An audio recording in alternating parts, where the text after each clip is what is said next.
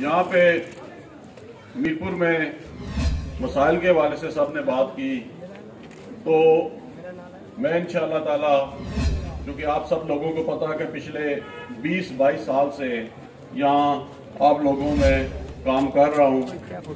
हालाँकि जो 20-22 साल मैंने यहाँ आप लोगों में काम किया है या आपकी गमी खुशी में मैं शामिल होता रहा हूँ। वो सारा अपोजिशन का दौर था। लेकिन फिर भी जो मुझसे हो सका, मैंने वो कोशिश की कि लोगों के मसाइल हल हो सकें, लेकिन कुछ हुए, कुछ ना हो सके।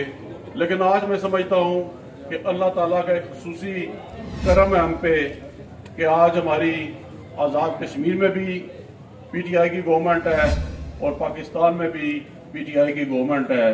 तो मैं कोशिश करूँगा कि इससे पहले जो मेरा पिछला 20-22 साल तजर्बा है और अब जो मौजूदा हालात हैं, अब जो हमारी गवर्नमेंट बन चुकी है, मैं इसका फ़ायदा उठाते हुए इन ताला मीरपुर के जितने मसले हल तलब है जो अभी तक हल नहीं हुए इन ताला मैं कोशिश करूँगा सारे के सारे मसले हल किए जाए।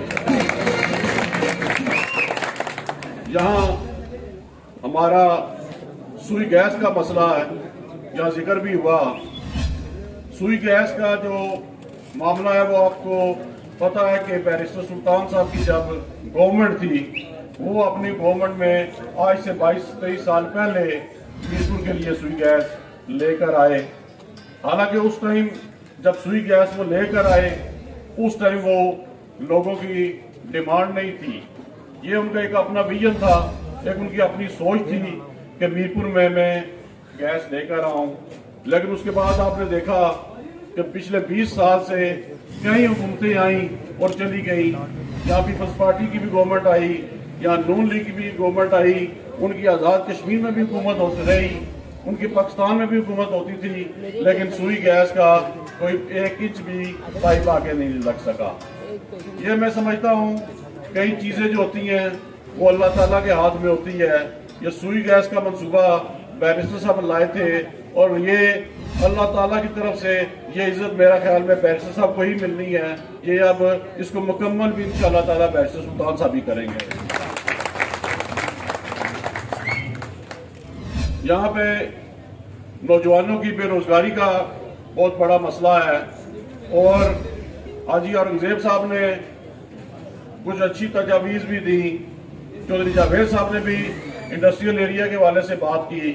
मैं समझता हूँ कि नौजवानों के रोज़गार के लिए जहाँ सरकारी जॉब्स के लिए हम काम करेंगे, वहाँ जिस तरह हाजी साहब ने ज़िक्र किया कि हम बच्चों को लोन लेके दे सकते हैं, हम बैंक बैंकर्स हजरात से बात करके, या जिस तरह जावेद साहब ने इंडस्ट्रियल जोन की बात की इन ताला जिस तरह हम सरकारी जॉब्स के हवाले से काम करेंगे, इसी तरह कोशिश करेंगे कि ऐसे जराए, ऐसे मौके पैदा किए जाए कि प्राइवेट सेक्टर में भी नौजवानों के लिए रोज़गार पैदा हो।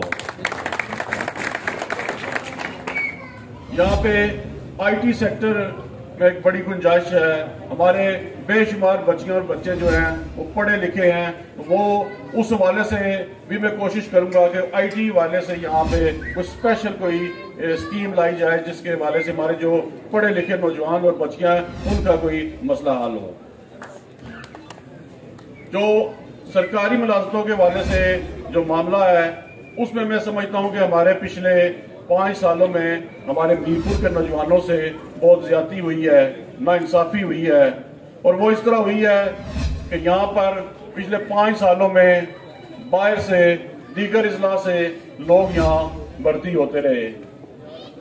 अब इन ताला जो कि पीटीआई की गवर्नमेंट है और 10 तारीख के बाद अब चूँकि इन ताला आप लोगों की वोट से, आप लोगों की दुआ से इन ताला आप लोगों की ताकत से 10 अक्टूबर के बाद मैं एमएलए बनने जा रहा हूँ। और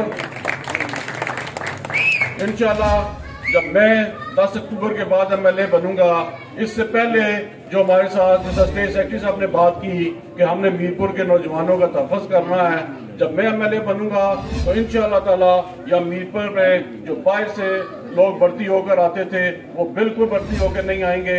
हम उसको सख्ती से रोकेंगे और जितनी भी आसानियाँ आएँगी, वो सिर्फ़ और सिर्फ़ हमारे मीरपुर के लोगों के लिए। यासर सुल्तान, तेरे जान साहब।